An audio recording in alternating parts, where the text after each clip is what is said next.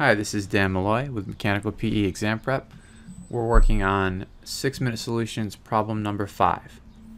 As part of the heat loss calculation for a storage facility, it's necessary to determine the U factor for the wall shown. The constituent layers have the following thermal resistivities in units of hour foot squared degrees Fahrenheit over BTU inches. Face brick, polyurethane insulation, and gypsum board and the air films have the following resistances in slightly different units, hour foot squared degrees Fahrenheit over BTU. We have the indoor air film and the outdoor air film. The overall coefficient of heat transfer U for the wall is most nearly what?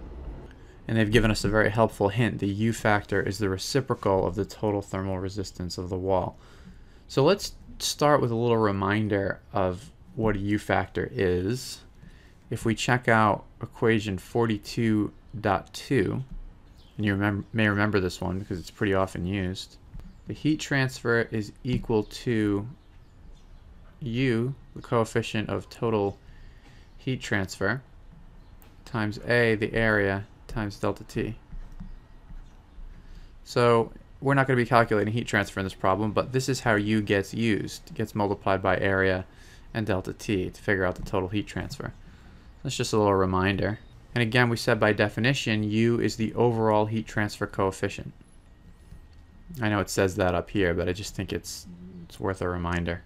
So for a well-insulated building, we would expect the U factor to be very small because minimal heat transfer should be transmitted across the walls.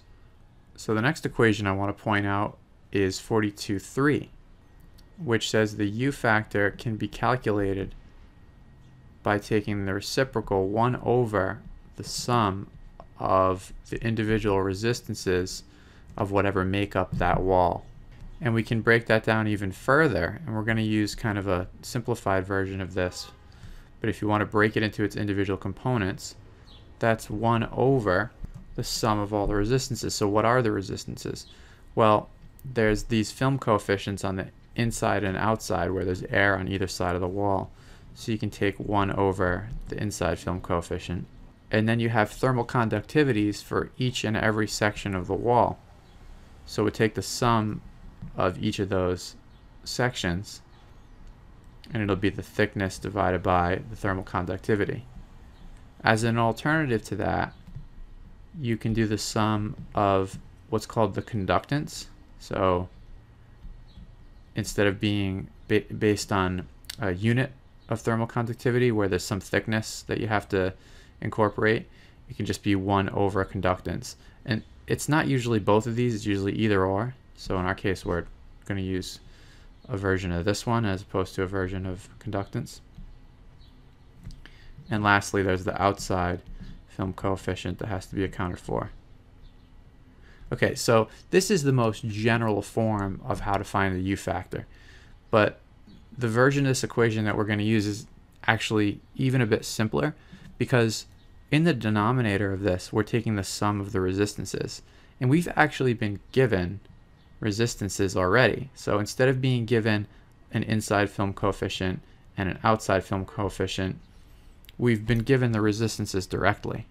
It says air films have the following resistances. And these units are units of the exact units we would expect for resistance R.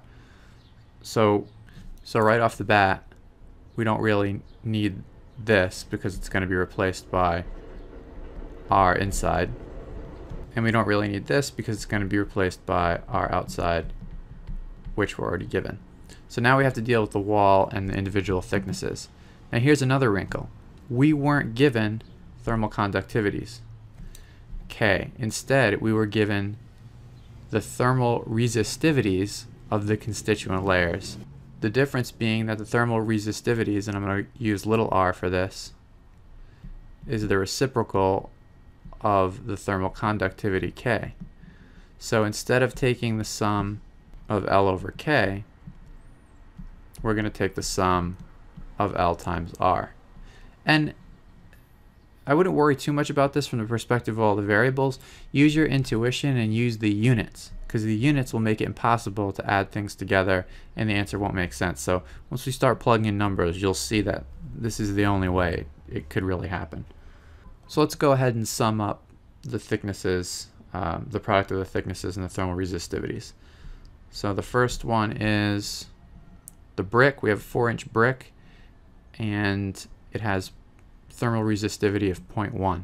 So 4 inches times thermal resistivity of 0.1 and that has units of hour, foot squared, degrees F over BTU inches. And the inches cancel out. Then we have the polyurethane, which is 2 inches times resistivity of 6. I'll skip the units because they're exactly the same. And uh, trust that that'll work out in the end. And lastly, we have the gypsum board, which is only 5 eighths of an inch thick and has resistivity of 9.9 rather. And if you multiply and add all those up, you get 12.96 hour foot squared degrees F over BTU because the inches went away. So that whole thing is the resistance of the components of the wall. The only thing that's not in the denominator then is just the resistance of the inside film and outside film. So to put it all together, let's now find U total. It's going to be 1 over all these resistances. So that's 12.96 plus these numbers we were given here, 0.68 and 0.17. And because all these now have units of hour foot squared degrees F over BTU, you can check that right, hour foot squared degrees F over BTU, they can be added together. And you should get 0.072 and now the units flip. So it's BTU, hour, foot squared, degrees F. And that is answer A. And lastly, I think it's just taking worth taking a minute to appreciate how the units play out. This is like saying for every square foot of area of this wall, and for every degree of delta T, there will be one BTU of heat transfer per hour. And that kind of fits with our idea of Q equals UA delta T. It's being multiplied by an area and it's being multiplied by a delta T. And the result is going to be some rate of heat transfer BTUs per hour. Any questions or comments, let me know. See you in the next video.